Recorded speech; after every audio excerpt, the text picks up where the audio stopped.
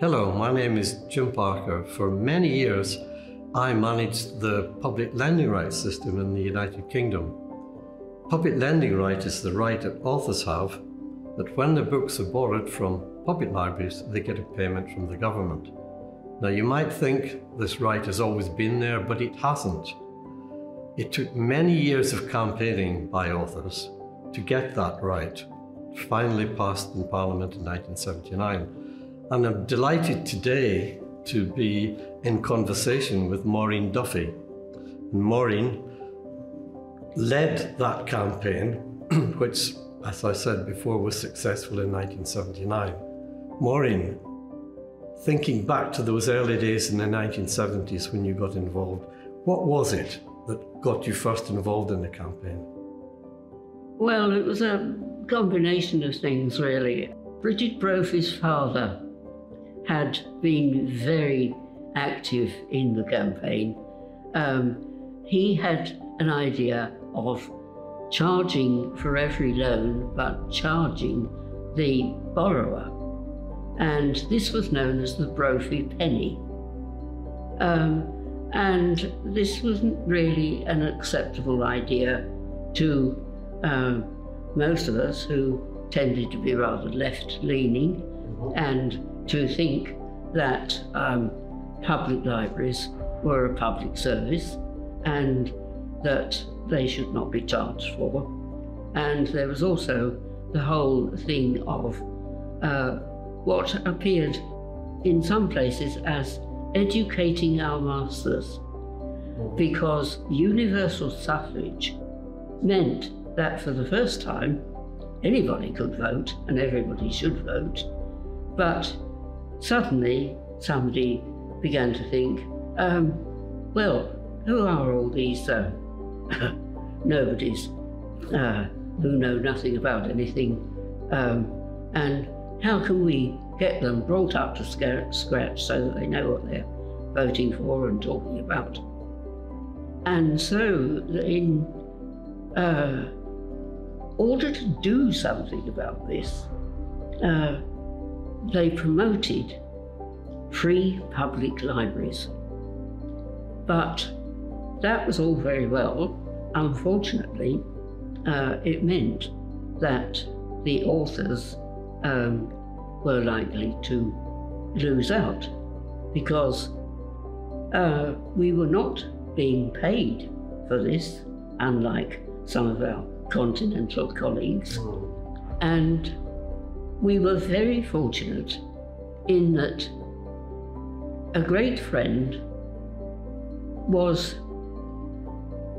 a Labour member of the House of Lords, Ted Willis. And Ted was essentially a television writer. And because he was a Labour peer, um, he was the person who could actually begin to advise us on how we should conduct a campaign and help us with it. And by involving other members of the House of Lords and also by introducing um, actual uh, pieces of potential legislation, um, he was able to point us in the direction of building a campaign. We began to uh, gather as many writers as possible to support us and think, began to think constructively of how we should go about getting what we wanted and what we thought was right. I, I believe you used to have meetings in a pub in London, and the landlord himself was a, a writer. Is, is, that right? Yes, um, that was one of my locals, the Queen's Elm, uh, and the landlord was Sean Treacy, and he had written uh, a book about what it was like to be a landlord and he very kindly allowed us to hold meetings for free in his pub And we were able to get lots and lots of writers to come and take part in this. Uh, I suppose partly because it was Chelsea, and partly because it was a pub. It, it must have obviously struck a chord with writers Yes. because you got a lot of people packing into that pub, didn't you? Yes, um, and all sorts of um, people. And you, you mentioned um, Lord Willis, but you and Brigid were, were leading from the front, so to speak. Did, did you have a particular way that you divided the work be- between you? I did the people bit, and Bridget did, as it were, a sort of offshoot literary bit um, in writing articles and making speeches and, and so on, which he was absolutely brilliant at. So um, that was how it came about that we just naturally fell into our separate Yes. activities, Yes. really. And within Parliament, you mentioned um, Ted Willis, who was obviously very supportive.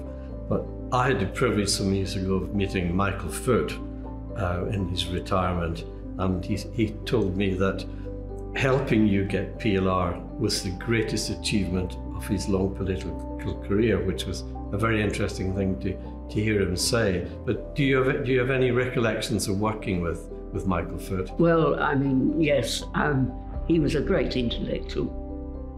Um, and he did support us throughout. Um, and,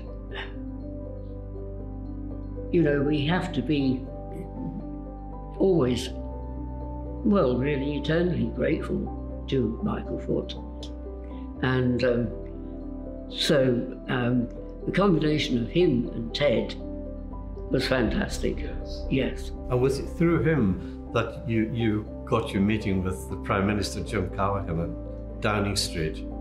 No, that was Ted. Instead. Um, and um, we were invited to the Cabinet Office to meet the Prime Minister. And of course, jumped at the offer um, because we had been putting uh, pressure on as many MPs as we and lords as we possibly could um, to advance the campaign. Um, and so we uh, arrived in the uh, cabinet office, and uh, the then Prime Minister, James Callaghan, came in, and we put our case to him again. And he said, um, Well, um, it would help me a lot to help you if you could get the support of the Trade Union Congress. And it so happened that although um, the Writers Guild of Great Britain was a proper trade union affiliated to the Trade Union Congress with the right to make uh, motions and have them debated before the annual Congress um, and to get their support in that way. And so it happened that when uh, the next Congress came round, uh, I don't know quite why it fell to me. Somebody must have thought I was the person to do it. It's your working class credentials. My working, yes, probably my working class credentials, credentials, as Jim says. And so I found myself going down to Brighton to address the biggest audience I think I have ever addressed, with the possible exception of the United Nations in Geneva. Um, and uh, so I put up our motion and made my pitch. And then there suddenly appeared a librarian to refute it and say we didn't deserve it, we shouldn't have it, nobody could afford it, and uh, it would damage the library system and all sorts of things of that kind. And the Congress was running late, as these things always do. As ever. and so uh, the chairman didn't want me to exercise my right to reply to this. So I leapt to my feet, and the Congress is always divided uh, left and right with an aisle down the middle. Um, and I set off down this aisle.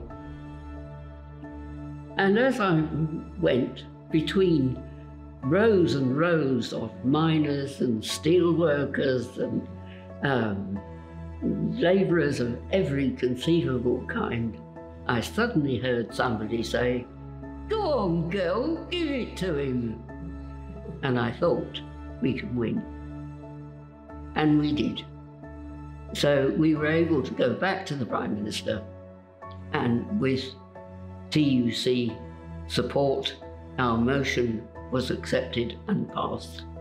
So you've been to the TUC, the campaign was picking up momentum through the 70s. There was still a lot of opposition in the backbenches in Parliament. And we get to 1978, a very bad winter for the Labour government.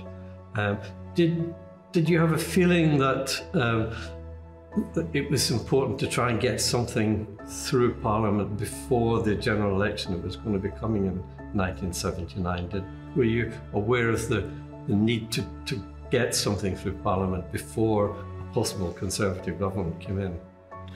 Uh, Jim, I would have to say yes. I mean, um, we uh, we were opposed by people from both political sides um, in those final debates. We had, up to the very last minute, we had to fight and fight and fight. At one point, um, we were told that computers would never come in for another 10 or 20 years. And yet we knew that they were already being used at supermarket checkouts. So uh, we didn't accept that one.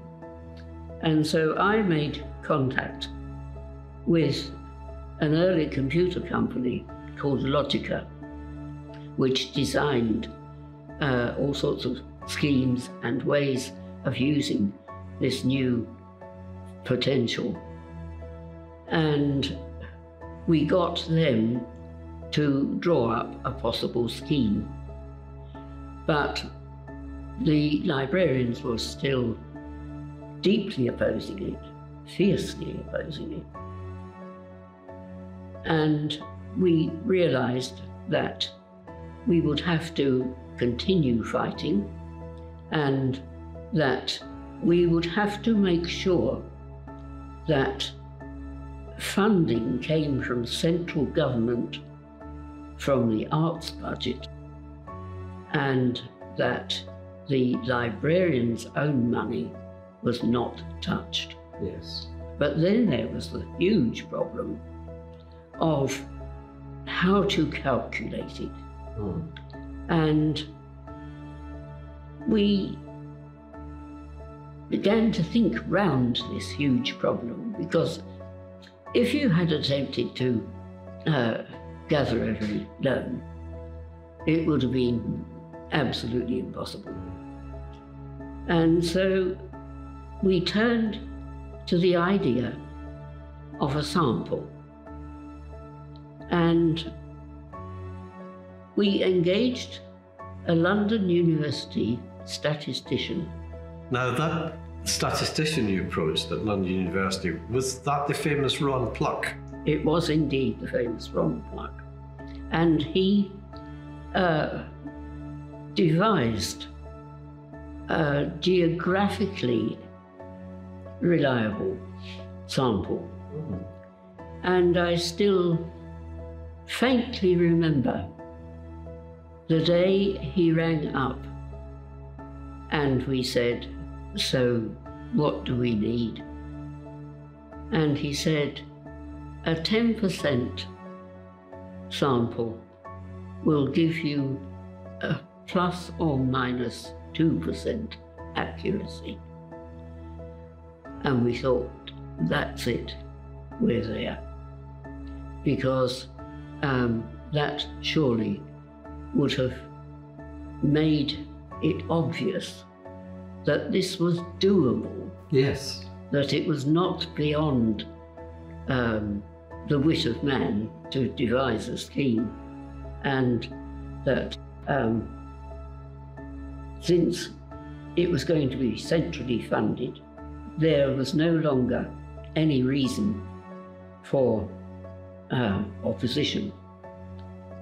However, this was almost so the legislation was brought up and passed, and that was the last gasp of the Labour government. Yes.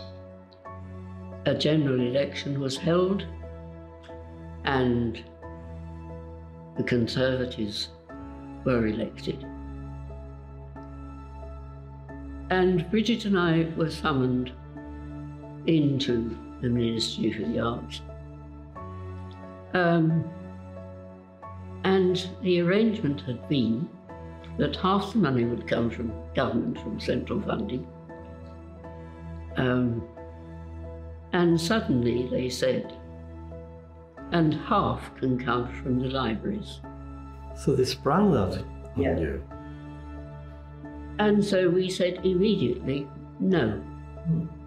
We will have your half, but we want nothing from the libraries because we knew that librarians, quite rightly, would oppose us bitterly if we had uh, threatened their own funding. So um, eventually we got away with it. And it was from the beginning and still remains, I'm glad to say, centrally funded. That was an important point of principle, wasn't it? Yes, And it's one that you and I promote when we're traveling the world encouraging countries to set up PLR. yes, That it's got to be centrally funded. yes. Yeah.